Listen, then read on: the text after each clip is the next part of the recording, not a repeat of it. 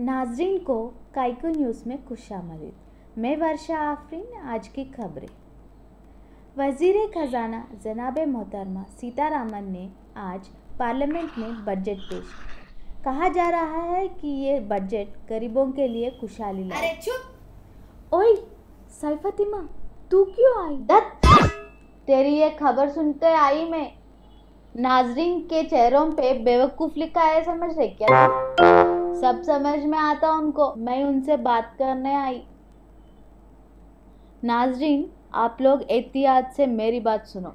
ये बजट कहते कोई इसको पढ़ते कहते उससे स्टॉक मार्केट में सर्दी बुखार चढ़ता कहते अरे जब देखो लाखों करोड़ों रुपयों में बजट पढ़ते, वो सब पैसे किधर गायब होते कि क्या की?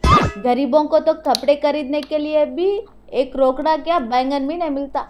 क्या बजट है कि क्या है की? उसमें जो लफ्ज इस्तेमाल करते वो कॉमन मैन के दिमाग में कभी नहीं घुसता। चलो मैं पढ़ के सुनाती बजट के खबरें। Oh yeah! सालाना पाँच लाख रुपए से ज़्यादा कमाए तो लगान भरना कहते अरे हम लोगों को काम ही नहीं मिल रहा तो कमाई कहाँ से आता यारो? सरकार सरकारी बैंकों में तीन लाख पचास हज़ार करोड़ रुपयों को घुसाया करते Wow! बोलो काइको काइको। काइको बोले तो ये विजय माल्या और नीरव मोदी जैसे कमीने हमारे बैंकों को लूट लिया ना, इसलिए अब सरकार हमारी लगान के पैसों से वो नुकसान भर रही।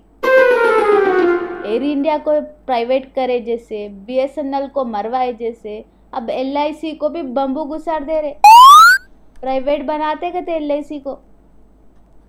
जम्मू कश्मीर की तरक्की के लिए तीन हज़ार करोड़ कहते पोल्यूशन कंट्रोल के लिए चार हज़ार चार सौ करोड़ कहते S C O B C को पचासी करोड़ कहते बुढ़े और मजदूरों के लिए नौ हज़ार पाँच सौ करोड़ देते कहते औरतों और बच्चों के लिए अट्ठासी हज़ार छः सौ करोड़।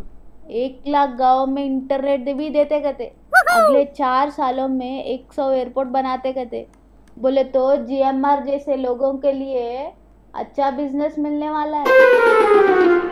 प्राइवेट कंपनियों से मिलके रेल के डिब्बे खरीदते कहते एजुकेशन सेक्टर के लिए निन्यानवे हज़ार करोड़ रुपए दे रहे। हेल्थ सेक्टर के लिए अड़सठ हज़ार करोड़ रुपए दे रहे कहते।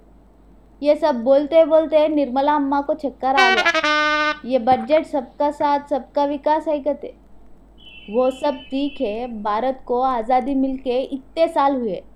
कितने की करोड़ों का पैसा बजटों में अनाउंस हुए तो ये गरीबी अभी भी क्यों है यारो? Oh yeah! में देखो अत्तापुर में देखो करोलबाग में देखो धारवी में देखो कोलकाता में देखो पाटना में देखो देश की चारों तरफ़ देखो। गरीबी ही गरीबी है। अब ये पैसा किधर जा रहा मियाँ? बेईमान पॉलिटिशियना और अफसरों ने ये पैसे जेब में घर में कबर में हर जगह छिपा के रख लिए। मेरा कहना मानो मोहतरमा निर्मला सीतारामन बेईमाना को भी बजट में एलोकेशन दे दो। ना रहेगी बकरी ना बनेगी बिरयानी। चलो हो गया खबरनामा।